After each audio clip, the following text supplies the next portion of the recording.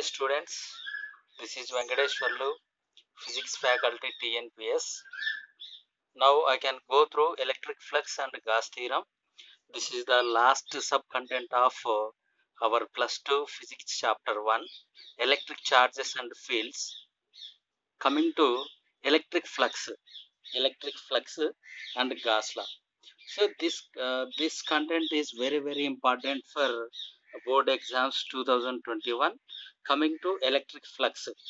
It is denoted phi uh, which is defined as the total number of the total number of electric field lines uh, that normally passes that surface.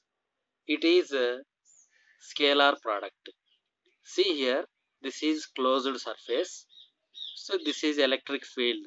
So arrow indicates electric field. The number of electric field lines passing through surface area normally to the surface. So this is surface this is normal. So here ds is the area vector. Here e electric field vector. So it is uh, it is scalar product uh, according to that statement d phi is equal to e dot ds. It is uh, dot or scalar product. So according to scalar product d phi is equal to eds cos theta e means electric field intensity or electric field. Ds means area vector. Cos theta means uh, the angle between uh, electric field intensity and uh, area vector. Okay. So coming to the formula. Formula. D phi is equal to eds cos theta. So integrating both sides we can get phi is equal to uh, surface integral of eds cos theta okay surface integral. Integral yes surface integral. Unit. We know that electric field intensity SI unit is uh, Newton per coulomb. From we can uh, this we can get from E is equal to F by Q formula. It is formula. Ds area. So SI unit area is meter square. Okay.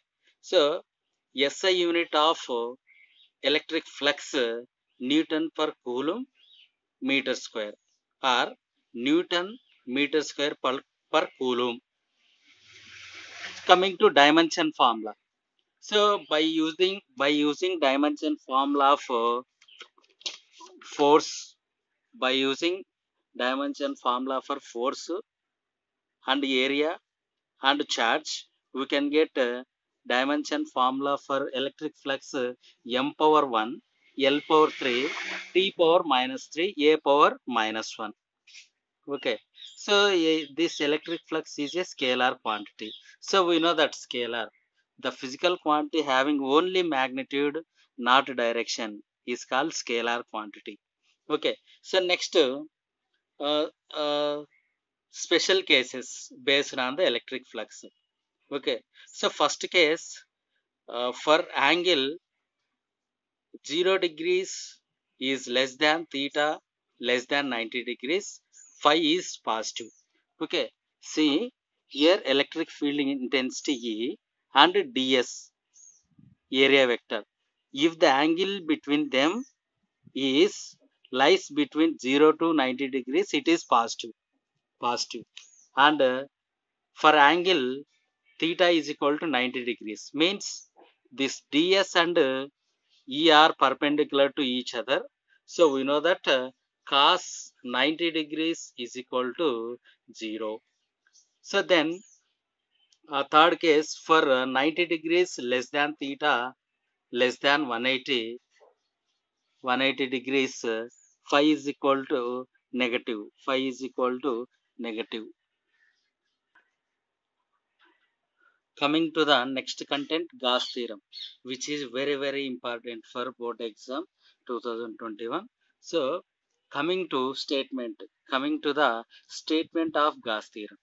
The surface integral of the electric field intensity E over any closed surface in free space is equal to 1 by epsilon naught times the net charge enclosed within the surface means uh, from the statement we can write uh, phi e electric flux which is equal to surface integral of EDS which is equal to 1 by epsilon naught uh, total charge is equal to Q by epsilon naught. Q by epsilon naught. So then here phi E is electric flux, E is uh, electric field intensity or electric field. Here Q total charge inside the closed surface. Q is total charge inside the closed surface. Epsilon naught permittivity of free space. So here we can use formula uh, phi is equal to integral EDS. Phi is equal to integral EDS cos theta according to dot product. Phi is equal to Q by epsilon naught. So this is about uh, Gauss theorem statement. So once again statement the surface integral of the electric field intensity over any closed surface in free space is equal to 1 by epsilon naught times of the net charge enclosed within the surface. Very, very important formula. Phi is equal to integral surface integral EDS is equal to Q by epsilon naught. Next, coming to the proof of Gauss theorem. Proof of Gauss theorem. How we can get that uh, integral EDS is equal to Q by epsilon naught. Okay, for this purpose, we can consider uh, a spherical body. A spherical body, radius is R. Consider a small unit area. Okay, here, so inside we can take charge. Okay, electric field intensity is outward, and here area vector is uh, acting along the direction of electric field. Okay, here area vector and electric field vector both are in same direction. The angle between them is zero. Okay, so according to Gauss theorem statement, we can write uh, d phi e is equal to e ds cos theta. Here theta is equal to zero. Why we can say theta is equal to zero means the angle between e and ds is zero. Okay, cos 0 1. Okay, so and ds surface area of spherical surface is 4 pi r square. 4 pi r square. So be careful, surface area of this sphere is 4 pi r square according to formula. So we know that electric field intensity formula 1 by 4 pi epsilon naught q by r square. Okay. So according to once again statement phi is equal to integral d phi a is equal to e integral ds. Okay. So we can substitute uh, e value and ds value in this formula phi e is equal to surface integral of d phi e is equal to 1 by 4 pi epsilon naught q by r square into 4 pi r square into 1. Okay, 1 by 4 pi epsilon naught q by r square means uh, that is e. Then 4 pi r square ds cos theta cos 0 1. Okay, by cancelling uh, 4 by 4 pi 4 pi r square r square we can get uh, phi e is equal to q by epsilon naught. If there is no if there is no net charge within the enclosed surface that is when q is equal to 0 then electric flux is 0 uh, coming to applications of uh, Gauss theorem. Very very important. It is also very very important. Here three applications is there. Three are very important for board exams.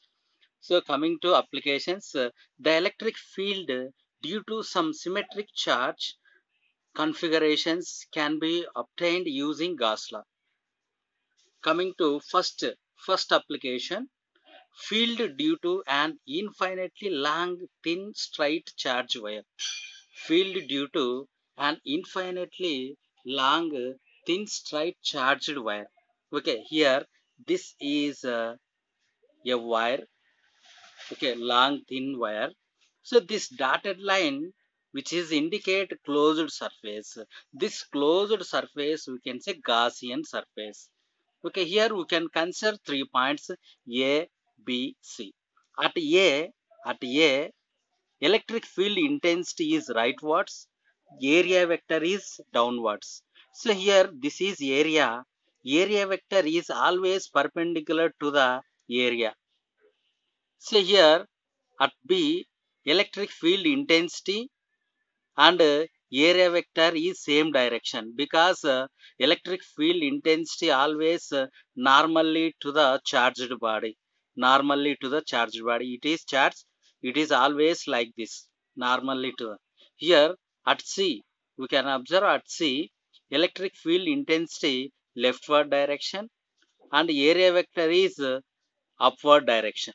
Here the angle between them is uh, 90 degrees 90 degrees okay here uh, suppose it is positive charged thin wire. We can observe here electric field intensity is always normally to the surface like this. Both side we can get arrow marks. Because it is positive charge the field lines are outward direction outward direction.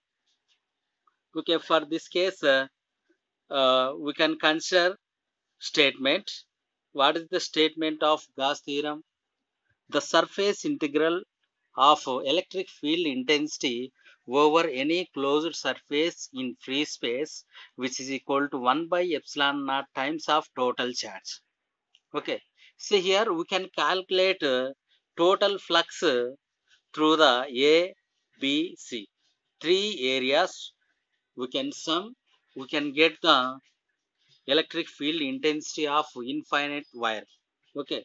So here we can observe these three these three points here a at a and at c. The angle between electric field intensity and ds is 90 degrees. According to dot product eds cos theta eds eds cos 90 0 here at a at B we can get uh, electric flux.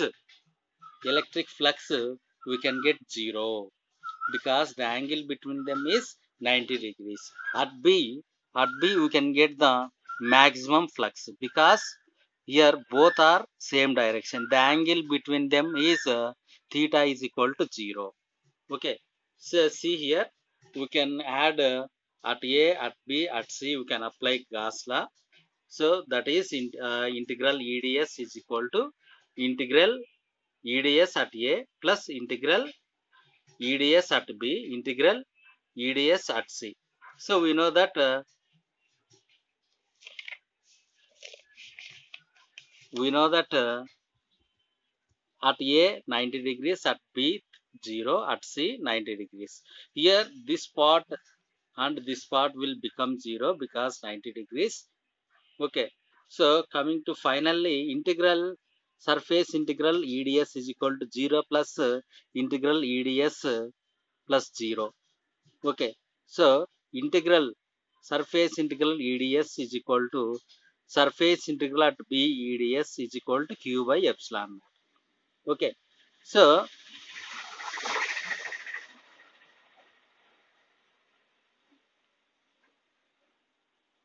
E integral ds is equal to q by epsilon naught. Okay, ds, ds surface, surface area of this Gaussian surface. Here we can observe Gaussian surface. This dotted line is Gaussian surface.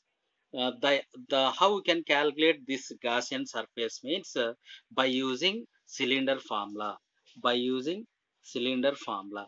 Okay, uh, the surface area of cylinder is uh, 2 pi RL, 2 pi RL. So by using uh, surface uh, area of uh, closed surface, so that surface area is 2 pi RL. E into 2 pi RL is equal to Q by epsilon naught. Q by epsilon naught. This part we can send right side we can get E is equal to Q by 2 pi epsilon naught R into L which is equal to 1 divided by 2 pi epsilon naught R Q by L cube charge per unit length charge per unit length linear charge density. It is denoted lambda q by l is equal to lambda. Finally electric field intensity of uh, long infinite wire lambda by 2 pi epsilon naught r. So this is final formula. E is equal to lambda divided by 2 pi epsilon naught r lambda linear charge density. So now we can we can draw the graph between electric field intensity and radius. Okay. So if electric field intensity varies with respect to r, so r means the distance between from charge to Gaussian surface. Gaussian surface. So here r increases means uh, E decreases, electric field intensity decreases. Coming to second application, field due to a thin infinite plane sheet of a charge. See here, this is uh, this is plane sheet. Okay, this plane sheet contain positive charges. He, this uh, plane surface having two surfaces. So this is upper surface and another one is lower surface. Okay, understand? Two surfaces is there upside and downside. So here we can have two surface area. Two surfaces area. This is gaussian surface. Here one surface uh, downside one surface. Okay according to statement we know that uh, gauss law statement the surface integral of uh, electric field intensity over a closed surface in a free space which is equal to 1 by epsilon naught times of total charge. Okay. So, uh, according to this, uh, this in, infinite plane sheet contain two surfaces, means two sides. Each side area we can denote it A. So, now the surface area of this sheet, this sheet upside and downside, we can denote it 2A, 2A. Okay, 2A, area of this Gaussian surface. So here one area, downside one area, two area, two into area. So according to Gauss theorem, E into surface integral of ds is equal to q by epsilon naught. Here surface area we can have in this case 2a. E into 2a which is equal to q by epsilon naught. q by epsilon naught. 2a is there. We can send the right side E is equal to Q by 2A into epsilon naught. Q divided by 2A. Q divided by A. Charge per unit surface area. Charge per area. Surface charge density. Sigma indicates uh, surface charge density. Okay, if Q by A is equal to sigma, we can rewrite this formula E is equal to sigma by 2 epsilon naught.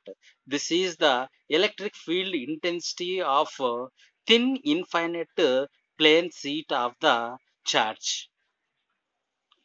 Coming to third application, field due to a uniformly charged thin spherical cell.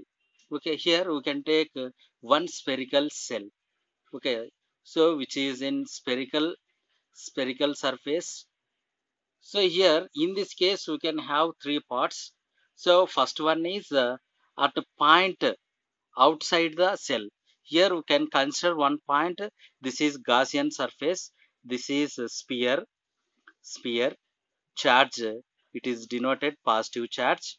So in inside the sphere there is no charge because uh, charge is always resides the surface. Charge not inside the body charge is always uh, present on the surface. Okay so here dotted line which is indicates uh, closed surface or Gaussian surface. The radius of the original sphere is r. The ra radius of the Gaussian surface is smaller. So here the case is at a point outside the cell. So this is uh, one cell spherical cell. Point is outside the cell because here we can take point. So the this dotted line indicates closed surface or Gaussian surface. According to statement, we know the statement uh, phi is equal to surface integral EDS which is equal to Q by epsilon naught. Here DS and uh, DS and E are in, uh, in the same direction. Here we can observe at this point area vector and electric field intensity both are in same direction. The angle between them is zero. Okay. So we know that according to statement phi is equal to uh, e into integral ds which is equal to q by epsilon naught. Here integral ds means uh, surface area of gaussian gaussian dotted line. Okay. Surface area surface area of the surface is area of gaussian surface is uh, pi r square. Pi r square. R is the radius of the Gaussian surface. Integral EDS is equal to 4 pi r square because surface area E into 4 pi r square which is equal to Q by epsilon naught according to statement. So we can send this 4 pi r square right side Q by 4 pi r square into epsilon naught. Okay. So here according to surface charge density we can take q is equal to sigma into 4 pi r square q is equal to sigma into 4 pi r square so this formula we can get surface charge density uh, charge per unit area. Charge per area surface area of cell 4 pi r square. 4 pi r square because r is the radius. So by substituting this sigma into 4 pi r square instead of q already 4 pi r square epsilon naught is there. 4 pi 4 pi gets cancelled. So we can get electric field intensity e is equal to sigma by epsilon naught uh, capital r by small r whole square. Okay this is uh, first uh, first point. Coming to second one second case second case. So at, at a point on the surface of the cell at a point on the surface of the cell if small r is equal to capital R. Because here uh, we can observe this is uh, this is spherical cell. So this is assumed Gaussian surface. Here the case is uh, the case is uh, at point on the surface of the cell r small r is equal to capital R. Gaussian surface and uh, radius of the sphere is same okay so this values we can substitute uh, substitute above equation we can get the final formula e is equal to sigma by epsilon naught capital r by small r the condition is uh, small r is equal to capital r r r gets cancelled we can get uh, e is equal to sigma by epsilon naught at a point on the surface of surface of the cell is uh, electric field intensity e is equal to sigma by epsilon naught. Sigma means uh, surface charge density. Surface charge density. Okay. So in uh, Gauss law, third application, third point is uh, at a point inside the cell. At a point uh, inside the cell. Here this is uh, uh, here this is spherical cell so we can calculate the electric field intensity inside the spherical cell. At this point, uh, radius is, uh, it is denoted small r because Gaussian surface uh, having radius is small r and capital R is uh, the radius of the cell. So here we can uh, we can conclude that here inside the inside the cell there is no charge because we know that charge is always uh, resides the surface okay see here inside the uh, inside the cell net charge is zero. Net charge is zero. According to statement phi e is equal to integral eds is equal to q by epsilon naught. Here q is equal to zero. Q is equal to zero. We can get electric field intensity inside the inside the cell is 0 so here up to up to this uh, the entire chapter is completed